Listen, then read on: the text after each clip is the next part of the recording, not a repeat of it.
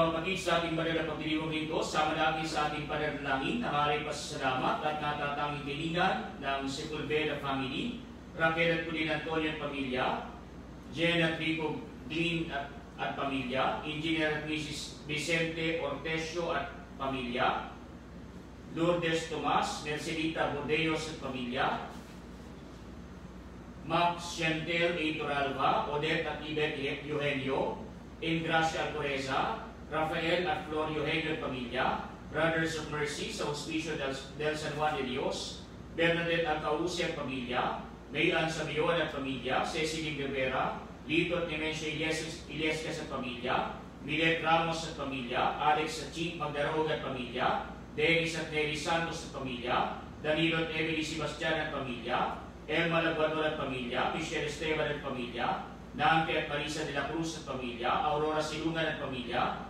Lourdes Hilario at pamilya, June at Soli de Rosario at pamilya, Christopher at Janet Do at pamilya, Jean Silungan at pamilya, Noel at Jenny Galvez at pamilya, Dr. Marat Marito Lentino at pamilya, Dr. Abexay Badag at pamilya, Kelvin Maximo at pamilya, Marietta Quirol at pamilya, Dr. June Mendoza at pamilya, Celia San Felipe at pamilya, Edgardo Aida Punanan at pamilya, Ren at David De Leon at pamilya, Melody Arte Belen at pamilya, Alicia Arcega Viacrucis at pamilya, Seri Celine Dominic Nicolas, at Evelyn Salazar at pamilya, Mila Digono at pamilya, Janet E. Pascual at pamilya, hindi ng EDB Community, Antonio Victoria Sanchez at pamilya, Cesar Lolita Nicolas at pamilya, Reverend Father Rupino Pengsuli, Bishop Dennis Villaroo, at gayon naman para sa kaligtasan ng mga kasapi ng Naisip Columbus, Holy Child Council, 6737 sa Bustos, Bulacan, Edwin at Josie Lazaro at pamilya,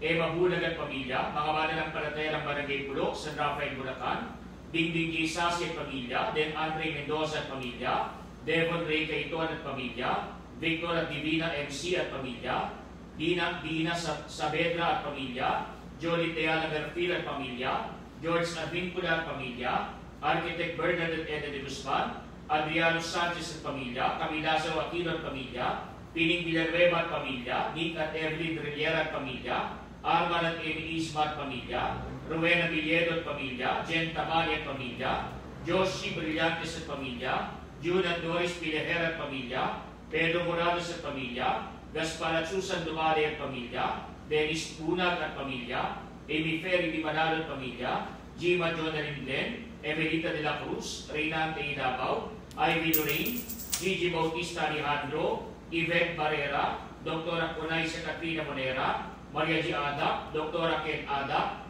Jaime Joven Cruz, Dr. Chester Calapis, Dr. Alan Ivon Guimara at pamilya, Dr. Caroline Enriquez at pamilya, mga doktor at medical staff ng Arlinia Fatima Hospital sa Valenzuela City, Santo Niño Hospital sa Bustos, Amang Rodriguez Memorial Medical Center sa Marikina City, Region 2 Trauma and Medical Center sa Baybong, Nueva Vizcaya, mga doktor at medical staff ng Regino Hospital, Skyline Hospital at Quarrymed Hospital, at ng lahat ng mga frontliners sa pagsugpo sa pagkalat ng salot na COVID-19, gaya ng iba pang mga doktor at healthcare providers, mga pulis at sundalo, mga business leaders at workers, at mga kawani ng pamalang nasyonal at lokal, lalo na ng lungsod ng San Jose del Monte. Para sa kagalingan ni na Evelyn Suasito, Eloisa Villamil, Eric Emaroy, Corazon Rodriguez, Alicia De Vega, Jovan Perez, Janet Emlo, Jose Inga, Timoteo Ruela, Capiscar Mandegro, Maria Barbilla, Chelo Del Mundo, Quirino Cristobal, Corazon Donato, Samantha Osea, Jojit Santiago, Lito Soriano, Joanna Cris Ganap, Minda James Saison, Mark Joseph Bernardino, Abeng Suniga, Pablo Dilag, Neil Francis Navarro, Nemencia Iescas, Benjamin Valerio, Adriano Santos, Rami Banaag, Julie, Julie Mercado, at para sa karawan at hindi para sa karawan na Dr. Maria Victoria Sanchez, Rizal De Goyo, Mark San Miguel, Jan Gadalingan, Rizalin D. Carlos Francesco Santos, Angel Puy Jeffrey Mendoza,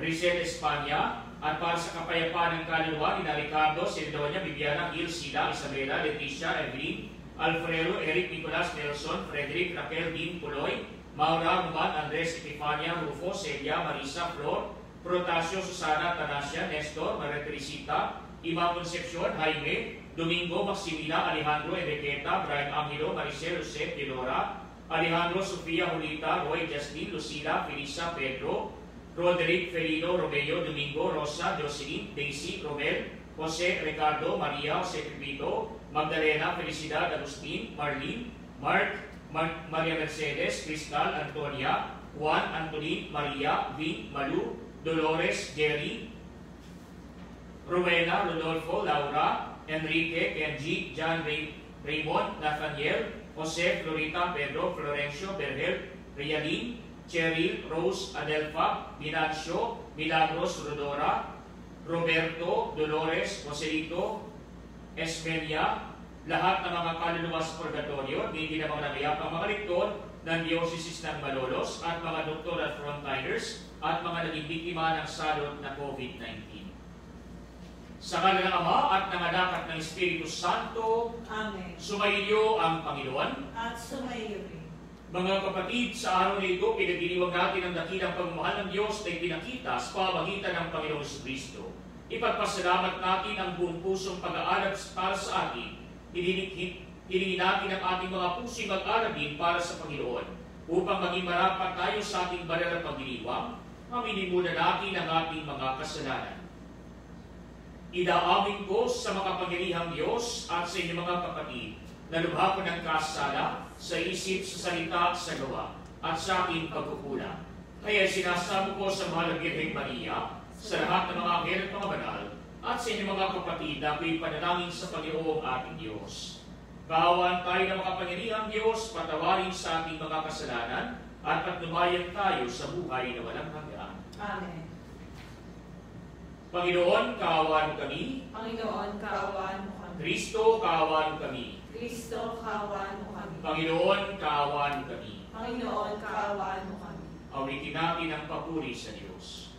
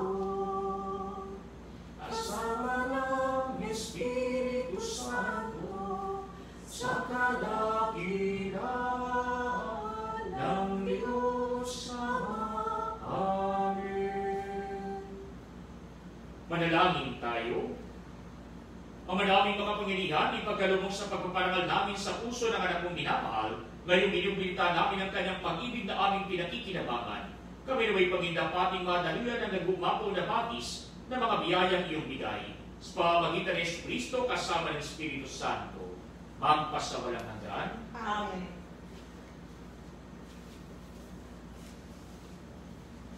Ang salita ng Diyos mula sa aklat ng Deuteronomio.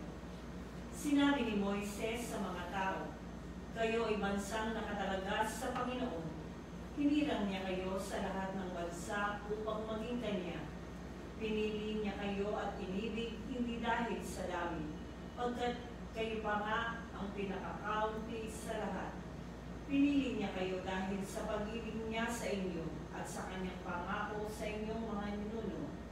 Ito rin ang dahilan kaya niya kayo hiniligtas sa kamay ng paraon sa pamamagitan ng kanyang kapangyarihan. Alalahanin ninyo ang Panginoon ay Diyos na hindi marunong sumira sa pangako. Tapat siya sa lahat ng umiibig at sumusunod sa Kanya at ipinadarama niya ang kanyang pagmamahal hanggang sa ikang sanlibong sanlahi. Nililikol niya ang lahat ng sumusuway sa Kanya. Hindi makaliligtas sa Kanyang parusa ang lahat ng hindi sumusunod sa Kanya. Kaya sundin ninyo ang kautusan at mga tuntuning ito. Ang salita ng Diyos. Salamat sa Diyos. Pag-ibig mo'y walang hanggan sa bayan mong nagmamahal. Pag-ibig may walang hanggan sa bayan mo ng Panginoon. Panginooy papurihan, purihin mo kaluluwa. Ang pangalan niyang banal, purihin mo sa tuwina. Ikaw, aking kaluluwa, ang Diyos ay papurihan, at huwag mong lilimutin niyang kanyang kabutihan. Pag-ibig mo'y walang hanggan sa bayan mo ng Panginoon. Ang lahat kong kasalanay siya ang nagpapatawad, at anumang aking sakit, ginagamot niyang lahat. Sa bingit ng kamatayan, ako ay inililigtas at pinagpapala ako sa pag-ibig niya habang. Pag-ibig mo'y walang hanggan sa bayan mo. Panginoon, mahaton, ang gawad ay katarungan. Natatamo ng inapi ang kanilang karapatan. Ang balangkas niya, niya utos kay Moises ibinili ang kahangahangang gaway na saksihan ng Israel. Pag-ibig mo'y walang hanggan sa bayan mo nagmamahal. Kay ganda ng kalooban, mahabagin itong Diyos. Kung magalit ay banayad, kung umibig na may lubos. Kung siya ay magbalusa, di katumbas ng pagsuway, di na tayo sinisingil sa nagawang kasalanan. Pag-ibig may walang hanggan sa bayan mo ng. Ang salita ng Diyos mula sa unang sulat ni Apostol San Juan. Mga pinakamamahal, mag-ibigan tayo sapagkat mula sa Diyos ang pag-ibig. Ang bawat umiibig ay anak ng Diyos at kumikilala sa Diyos. Ang hindi umiibig ay hindi kumikilala sa Diyos sapagkat ang Diyos ay pag-ibig. Inihayag ng Diyos ang kanyang pag-ibig sa atin nang sugurin niya ang kanyang bugtong na anak upang magkaroon tayo ng buhay sa pamamagitan niya. Ito ang pag-ibig, hindi sa inibig natin ang Diyos, kundi tayo ang inibig niya at sinubo ang kanyang anak upang maging handog sa ikapagpapatawad ng ating mga kasalanan. Mga minamahal, yamang gayon kadakila ang pag-ibig ng Diyos sa atin. Dapat din tayong mag-ibigan. Walang taong nakakita sa Diyos kailanman, ngunit tayo'y nag-iibigan. Nasa atin siya at nagiging ganap sa atin ang kanyang pag-ibig. Nalalaman natin na nanatili tayo sa Diyos at siya naman sa atin. Sapagkat pinagkalooban niya tayo ng kanyang Espiritu, nakita namin at pinatotohanan sinugo ng Ama ang kanyang anak bilang tagapagligtas ng sanlibutan. Ang nagpapahayag na si Jesus ang anak ng Diyos ay nananatili sa Diyos at ang Diyos na may nananatili sa Kanya. Nalalaman natin at pinananaligan pag-ibig ng Diyos sa atin. Ang Diyos ay pag-ibig. Ang nagpapatuloy na umiibig ay nananatili sa Diyos at nananatili naman sa Kanya ang Diyos. Ang salita ng Diyos. Salamat sa Diyos. Hallelujah, Hallelujah, Hallelujah.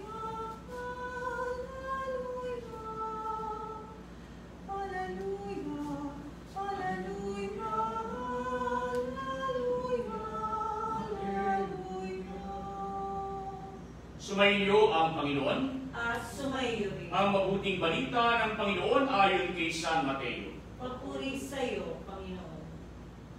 Noong panahong iyon, sinabi ni Jesus, Pinasasalamatan kita, Ama, Panginoon ng langit at lupa, sa panatilihin mo ang mga bagay nito sa marurunong at patatalino, at inihayag sa mga may kalooban tulad ng sa bata. Oo, Ama, sapagat gayon ang ikinalulugod mo. Binigay sa akin ang aking Ama ang lahat ng bagay. Walang nakakakilala sa anak kundi ang Ama, at walang nakakakilala sa Ama kundi ang anak, at iyong marapating pagpahayagan ng anak. Lumapit kayo sa akin, kayong lahat na napapagal at pamibigatan sa inyong pasanin, at kayo'y pagpapahingayin ko. Pasanin ninyo ang aking pamato, at mag-aral kayo sa akin, ako'y maamo at mababang loob, at makasusumpong kayo ng kapahingahan para sa inyong kaluluwa. Sapagat maginhawang dali ng aking pamato, at magaan ang pasanin na ibibigay ko sa inyo. Mga kapatid, ang mabuting balita ng Panginoon. Pinupuri ka namin, Panginoong Yeso Kristo. Mga kapatid, sa ating kumabuting balita ay pinapa, pinapahayag sa akin ng ating Panginoon ang lahat ay tinatawagan niyang lumapit sa Kanya sapagat siya ang tutulong sa lahat ng mga nabibigatan sa kanilang pasani at sinibibigyan ng karampatan na kapahingahan. Kaya ang pangako ng ating Panginoon, magaan ang pamatok na ipagkakalog sa atin. Kaya nga po kagaya ng nabanggit na natin sa iba mga kamananampalataya, ano ba yung pamatok na ito? Ito yung parang kahoy o kaya naman isang, uh, isang uh, ginagamit na pang, sa panghida na inilalagay sa may batok ng isang hayop, kagaya ng kalabaw o kaya ay ng baka. Kaya nga po yung hinihila nila, hindi naman nagbabago yung bigat, pero kapag ginamitan ng pamatok, nagiging balanse ang paghida, nagiging mas madali para sa isang baka o para sa isang uh, kalabaw ang paghila, maging na mabibigat na lalahi.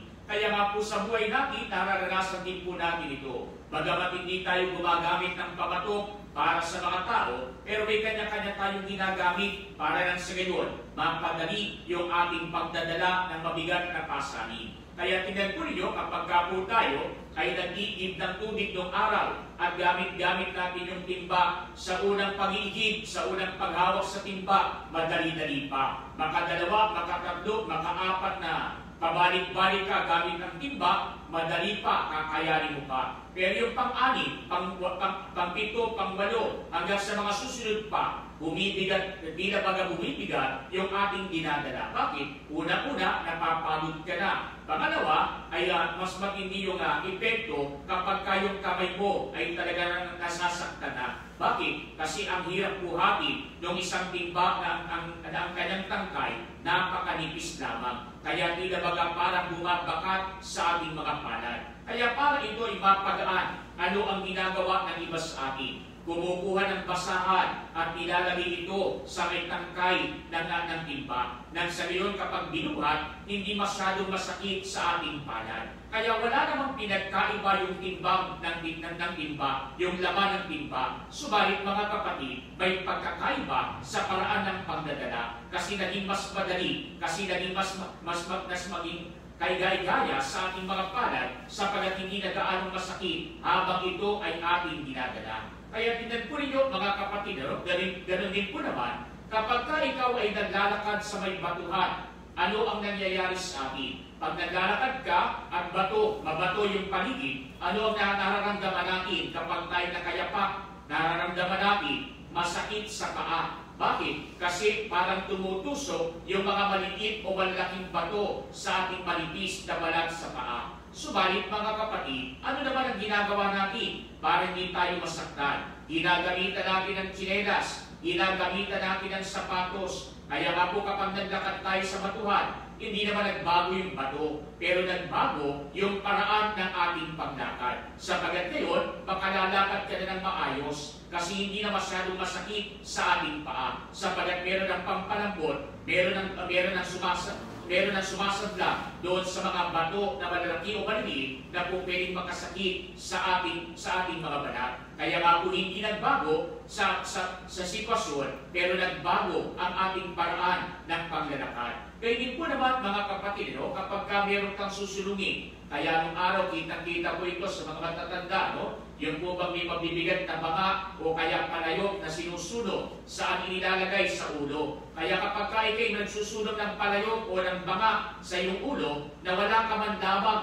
na panlagay doon sa iyong ulo, ano mangyayari sa atin? Masasaktan yung ating ulo. Kaya nga po anong ginagawa? Naglalagay ng basahan para lang sa gayon, ito ang magiging, ito ang mailalagay natin sa pagitan ng ating ulo at ng ating susunungin na, na banga o kaya ay palayo. Kaya hindi naman nagbago ang ulo mo, hindi naman nagbago yung palayo, pero nagbago yung paraan ng ating pagdadala. Sapagat ngayon, mas madali na ang ating pagdadala, gaano man kabigat yung palayok o kaya ay banga na ito. Sapagat hindi na masyadong nasasaktan yung ating ulo, dala na matigas na bagay na ito. Kaya nga po ganun din para sa ating Panginoon. Ang ating Panginoon, hindi niya ipinangako sa atin na tatanggalin yung lahat ng ating pasani. Ang pangako sa atin ng ating Panginoon, bibigyan tayo ng pamatok ng sa gayon, hindi man maalis yung ating mga pasani, makaya nating pasanin sapagat ginagamitan tayo ng ating Panginoon ng kanyang tulong upang nang sa gayon magampanan natin yung dapat nating gampanan dito sa lupang ibabaw. Kaya nga mga kapatid, no, kapag kayo may pamilya, gaano ng kabigat yung dinadala natin sa pamilya. Merong pasanin man tayo sa ating pamilya, pero nagpapadala ng biyaya ang Panginoon para lang sa gayon, tila baga isang pamato, madadala, madadala natin, malalampasan natin, mapagtatagumpayan natin ang lahat ng mga pagsubok sa ating pamilya. Kaya nga po iti may malaking kaugnayan sa ating pagdiriwang ngayon na kung saan ating pinadiriwang ang dakilang kapistahan ng kamahal-mahalang puso ng ating Panginoon na kung saan ito rin ay nagpapakilala sa atin ng matinding pag-ibig ng Diyos para sa atin na kung saan ang ating Panginoon, tinulungan niya tayo na pasanin ang kasalanan na dapat sanay sa atin lamang. Inako ng ating Panginoon ang mga pagkakasala na ito, kaya nga tayo ay nagkaroon ng kaligtasan. Subalit ang kaganapan ng kaligtasan na ito ay nakasalalay sa ating pakikipagkaisa sa plano ng Panginoon para sa atin. Kaya nga po, kapag tayo ay dumating na sa kabilang buhay, doon natin makikita kung hanggang saan ang ating pakikipagkaisa sa plano na ito ng ating Panginoon.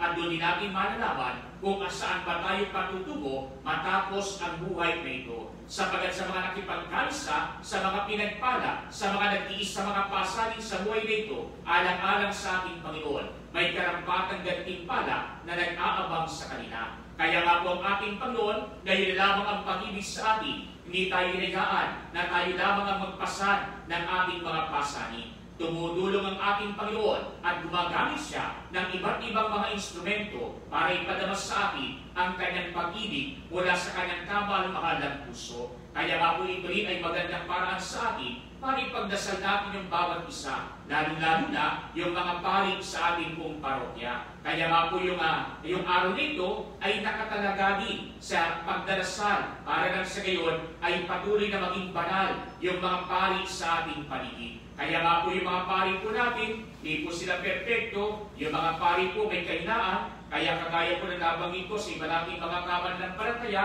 kuminsan yung ibang mga tao masyadong mapupusok sa paglapit sa pari, samantala meron namang ibang mga pari masyadong marurupok, kaya pag nagtagpo yan, problemang malaki yan. Kaya nga po dapat balanse sapagat dapat nagtutulugan para lahat maging banal para lahat magkatulong-tulong na hindi mapunta sa pagkakasala, kundi matulungan ang bawat isa para nang sa gayon, mailayo sa tukso, mailayo sa tanang pagkakasala, at lalo mapalapit sa ating Panginoon. Kaya nga po, sa mga gampanin ng ating mga pari, hindi naman nagbabago. Taon-taon naman, araw-araw naman, pare-pareho naman ang gampanin ng mga pari sa ating parokya. Pero yung bigat ng gampanin na ito, gaano mang karami, gaano mang kabigat, nagiging madali, sa paanong paraan, kapag ka tayo ay nakikipagkaisa sa plano ng Panginoon para sa atin. Nagiging parang pamatok tayo sa ating mga pari.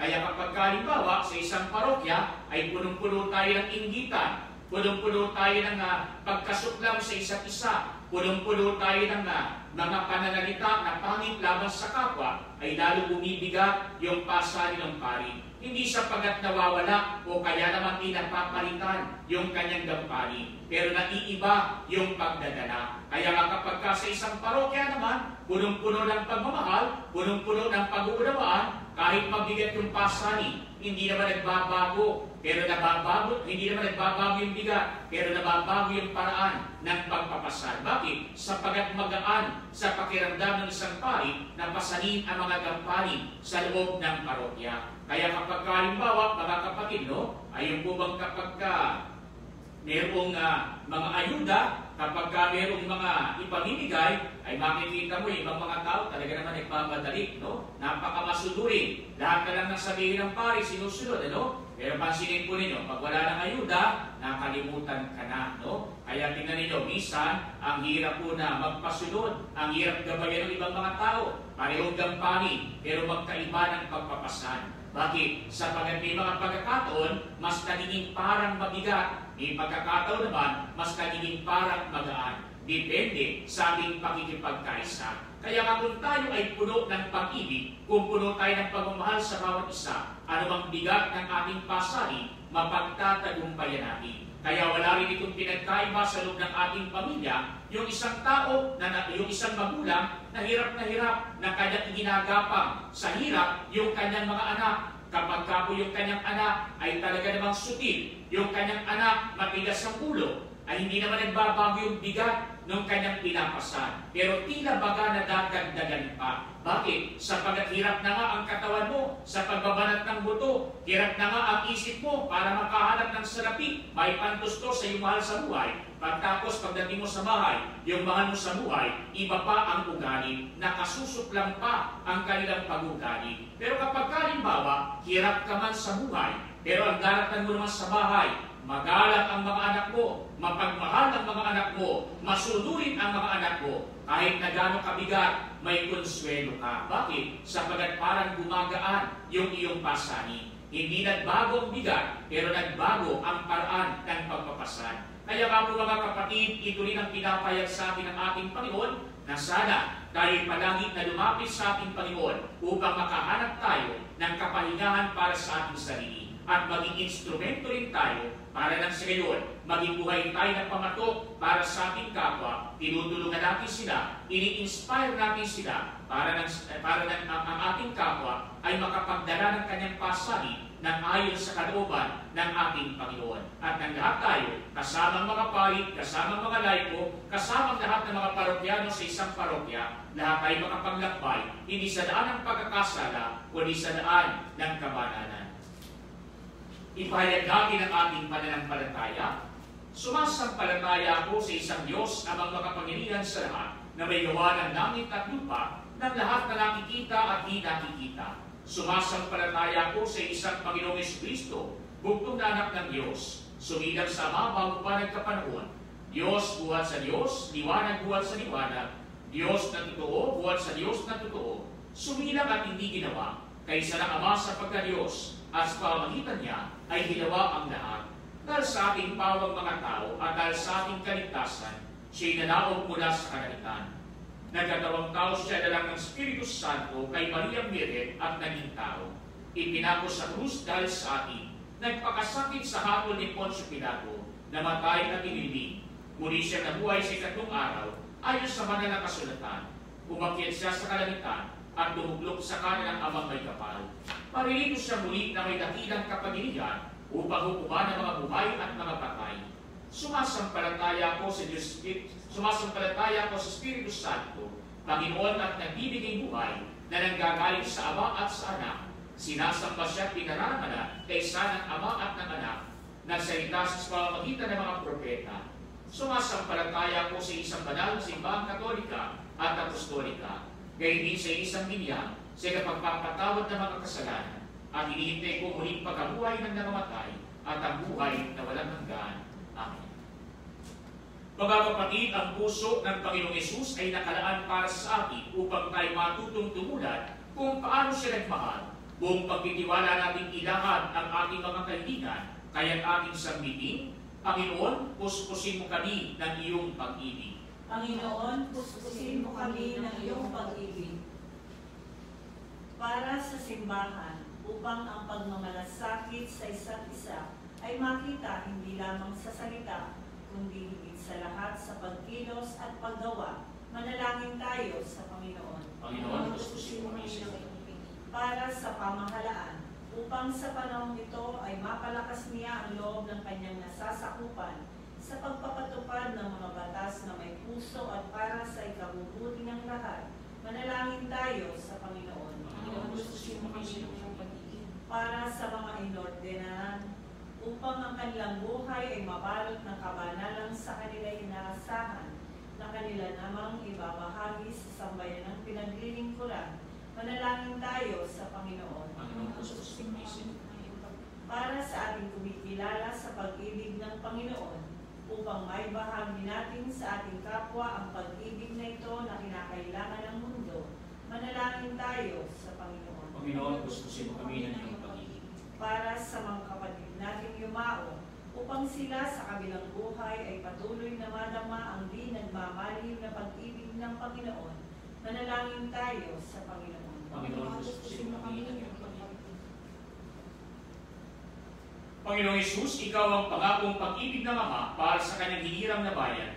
Umibig nawa kami gaya ng pag-ibig mo sa amin at dinggin mo ang aming panalangin. Sa pamamagitan mo kasama ng Espiritu Santo, magpasawalang hanggan. Amen. Ang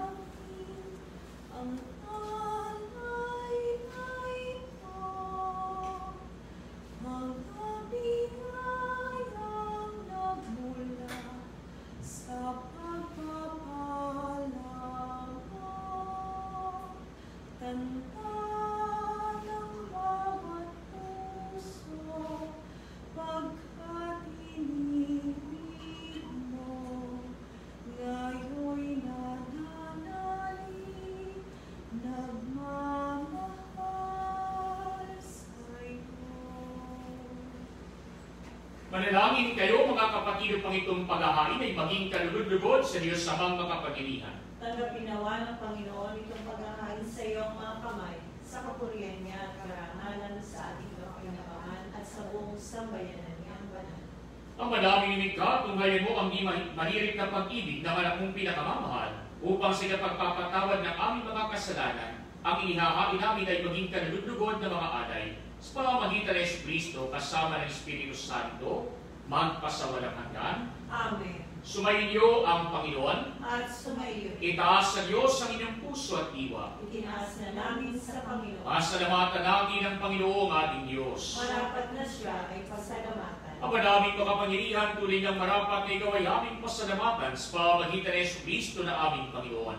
Nakilang pag-ibig niya ang nagbunsod na maghain ng sarili nang kami matubos kaya't itinumpak, itinampok siyang na- nakabayubay sa krus. Mula sa kanyang tagiliran, sinibat dugot tubig, ay masaganang dumana, kaya't sambayan mo'y di, dito nabanaan. Ito'y ang sangkatawang na akit sa puso ng iyong anak na sumasagip sa mga dumudulog sa batis ng kanyang pag-ibig.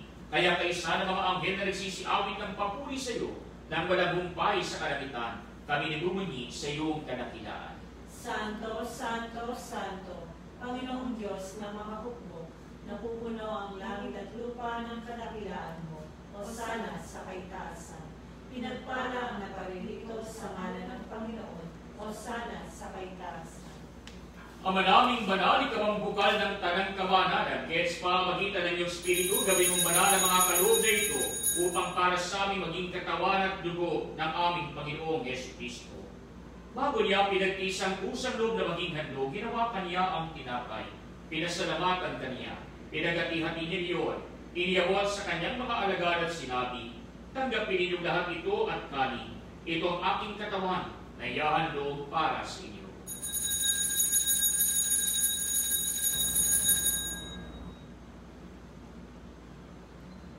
Kaya hindi naman o matapos sa hapunan, ninawakan niya ang kanis, muli kaniyang pinasalamatan. Iniabot niya ang kalis sa kanyang mga alagad at sinabi, Tanggapin ninyong lahat ito at inumin. Ito ang kalis ng aking dugo, ng bagot walang hanggang tipan. Ang aking dugo na ibubuhos para sa inyo at para sa lahat, sa ikapagpapatawad ng mga kasalanan. Gawin ninyo ito sa pagdadalas sa akin.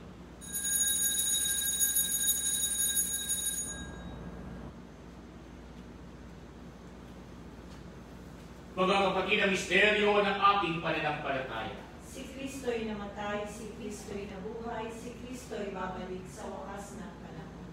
Ama, ginagawa namin ngayon ang pag-alala sa pagamatay at muling pagkabuhay ng iyong anak, kaya tiniaari namin sa iyo ang tinapay na nagbibigay buhay at ang kalis na nagkakaloob ng kaligtasan. Kami nagpapasalamat dahil kami yung minarapat na tumayo sa harap mo para maglingkod sa iyo. Sinasamo namin kami magsasalo-salo sa katawan at dugo ni Kristo ay mabuklod sa pagkakaisa sa pamamagitan ng Espiritu Santo. Ang malingapin mo ang iyong simbahang laganap sa buong daigdig, puspusin mo kami sa pag-ibig, kay San Francisco naming Papa, at Irenis naming Obispo at ng Tanang Kaparian. Panilahanin mo rin ang mga kapatid namin na hinday na may pag-asang silang muling mabubuhay, gayon din ang lahat ng mga pumanaw.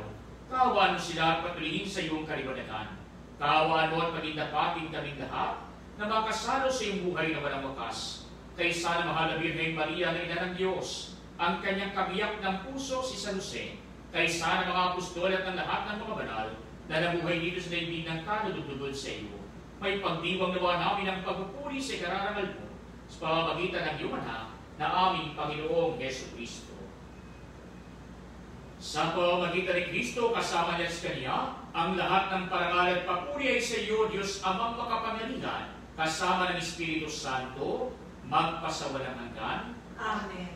Mga kapatid, sa tagumili ng mga nakagagaling na utos sa turo ni Jesus na Panginoon natin at Diyos, ipahayag natin ang lakas namin, Sumasalangit ka, sambahin ang ngalan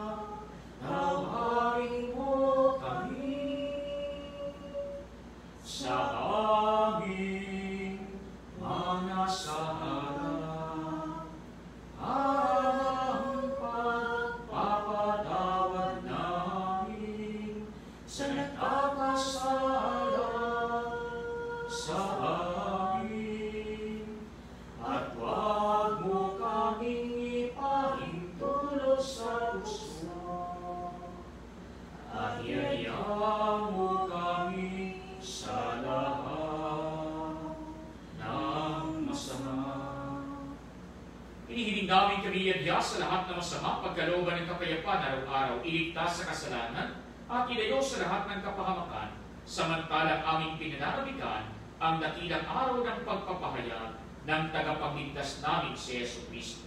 Sapagkat iyo ang kaharian at ang kapangyarihan at ang kapurihan magpakailanman. Amen. Panginoong Yesu Kristo, sinabi mo sa mga apostol, kapayapaan iniiwan ko sa inyo, ang aking kapayapaan ang binibigay ko sa inyo. Tuhayan mo aming pananampalatay pag ang aming mga pagkakasala. Pagkalooban mo kami ng kapayapaan at pagkakaisa ayon sa iyong kalooban, kasama ng Espiritu Santo, magpasawalang hanggan. Amen. Ang kapayapaan ng Panginoon ay laging sumainyo. At sumayo rin. Magbigayan kayo ng kapayapaan sa isa't isa.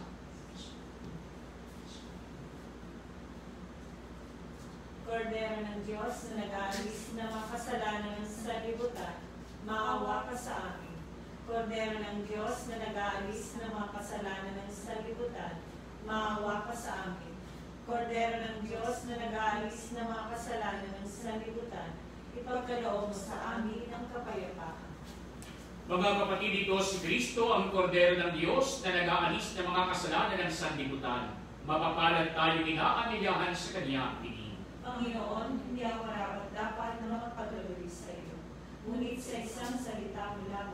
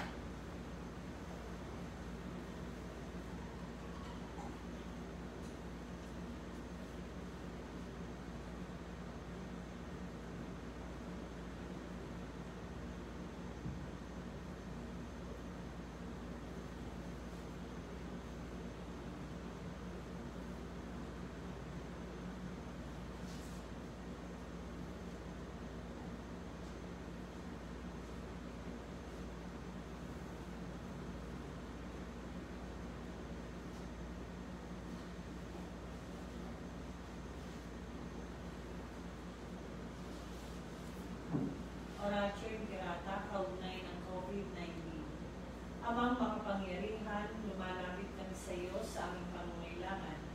Ingatan mo kami lamang sa COVID-19 na lumalaganap sa kasalukuyan at nagiging sanhi ng kamatayan.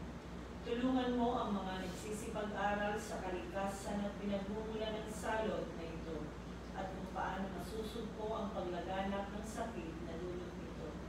Gabayan mo ang mga kamay at isipan ng mga eksperto sa medisina nang mapaglingkuran nila na may puso at kakayahan ang mga may karamdaman at sa mga sangay ng pamahalaan at mga pribadong ahensya na makatagpo ng lunas at solusyon sa salot na ito.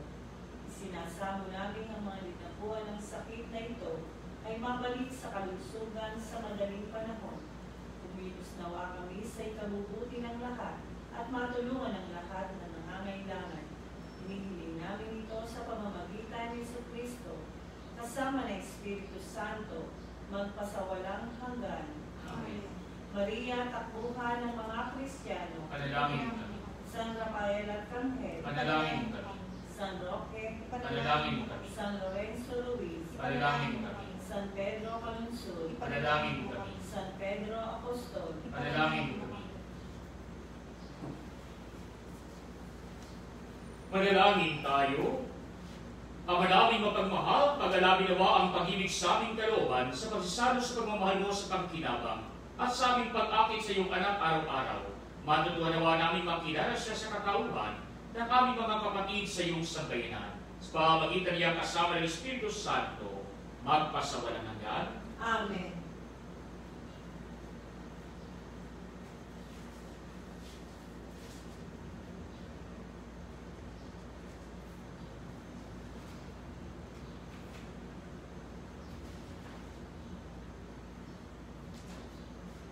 Panalangin para sa mga pari. O Jesus, ipinapanalangin ko sa iyo ang matapat at maalam mong pari, ang mga lido at nanlalambing mong pari, ang iyong mga paring nagpapagal dito at sa ibang bansa, lalo na yung mga nasa kaluluduluhang bahagi ng daigdig. Ang mga pari mong naharap sa matinding tukso at pagsubok, ang mga nangungulila at nag-iisa mong pari, ang mga bata, may sakit at mga yumaong pari. Higit sa lahat, ipinapanalangin ko sa iyo ang mga paring mahal sa akin, ang paring nagbinyag sa akin, ang mga paring nagpapakumpisal sa akin, ang mga paring nangunguna sa misa namin at nagbibigay sa akin ng iyong katawan at dugo sa banal na komunyon, ang mga paring nagturo at bumabay sa akin, at ang lahat ng paring pinagkakautahan ko ng. O Jesus, alalahanin at ilapit mo silang lahat sa iyong mahal na puso at lagi mo nawa silang pagpalain ngayon at magpasawalang hanggan. Amen. Sumainyo ang Panginoon At sumayo rin. at pagpalain kayo ng makapangyarihang Diyos, Ama at Anak at Espiritu Santo. Amen. Taglay niyo sa inyong pagalis ang kapayapaan at pag-ibig ni Kristo. Salamat sa Diyos.